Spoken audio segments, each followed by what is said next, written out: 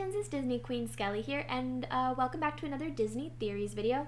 So guys, I am pretty sure this is the last Frozen theory we are dealing with. In fact, let me double check to make sure. Yes, this is the final Frozen theory that we are touching, and it still doesn't make sense because it's the same deal. They're talking about the shipwreck, and again, Frozen 2 pretty much debunks the whole thing.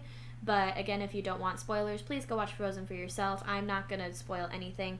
So today's uh, Disney theory is um, the king and queen survived the wreck and became Tarzan's parents. No, they didn't. I mean, I'm sorry, that's a huge spoiler. I am so sorry. No, they didn't. I'll read you the theory again. I, I just have a problem with this because of it's not true anymore. And I know around the time that this website was publishing their work, it was around the time Frozen was released and not Frozen 2. But at the same time, like, in one of the articles, I'll be reading it uh, in today's Disney Theory.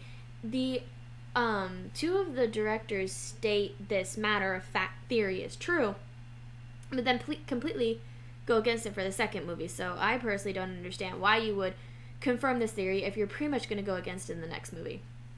But anyways, I'll also be reading an article that I've already read once in a previous Frozen theory.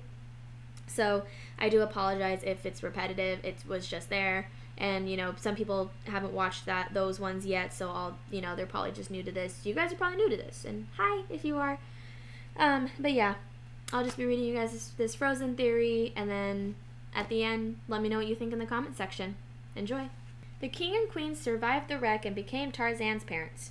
During the same reddit ama lee said according to chris buck co-director they didn't die on the boat. They got washed up on shore in a jungle island the queen gave birth to a baby boy. They build a treehouse, they get eaten by a leopard.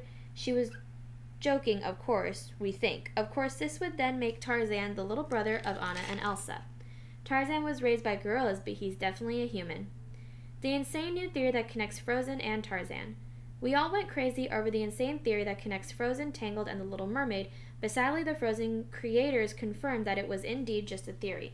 But any true Disney fan knows there is always an untold story, and during a recent Reddit AMA, Frozen director Jennifer Lee blew our minds with the brand new one connecting Frozen and Tarzan. In response to questions about what happened to Anna and Elsa's parents who disappeared in Frozen is one of the biggest Disney mysteries, Jennifer revealed a mind-blowing theory from her Frozen co-director Chris Buck, who also worked on Tarzan. According to Chris, the king and queen didn't die in the storm, they were deserted on a jungle island. Story sound familiar? Ever heard of a little boy in a tree house and raised by gorillas because his parents were eaten by leopard? His name might ring a bell. Tarzan. Mind blown. His, it's entirely possible that the king and queen of Arendelle veered off course in the stormy Norwegian waters, especially considering we never saw their ship sink. So that means not only is Tarzan and Anna Elsa's long lost little brother, but Tarzan is also the newest Disney prince. We can only hope for a family reunion. Once again, guys, like I said, this theory just isn't true anymore. I mean, I'm sorry that that is a spoiler for the second movie, but this theory just isn't true. And it it was kind of like I said in like the very first Frozen theory that I did. I really wasn't sure if I wanted to do them in the first place, only because this theory these theories have been debunked by the second movie. But again, you guys should go watch it if you haven't seen it yet. There, it's a very good movie. I actually like it way better than the first movie. I think it's more detailed in terms of the story and they have definitely way better songs and it's more adult based and definitely more down to earth. But anyways, and this is the last Frozen theory we are doing so far. I have no idea what I'm going to be finding in the future. But like I said, I just I wasn't sure whether I wanted to do these theories or not. But then I kind of figured, well, it would be like a throwback theory video. Like you would go and watch Frozen 2 and then it'd be like, oh, you know what's so fun? You remember what we used to think about the ship that drowned? But, you know, whatever the case is, unfortunately, these theories just aren't true anymore. It was just kind of fun and nice to go back and look at them, you know, while, you know, knowing what is now the theory. But, anyways, I, well, not, not what the theory is, but like now why it's debunked. But anyways, I hope you guys um, enjoyed the last Frozen theory we will be talking about for now.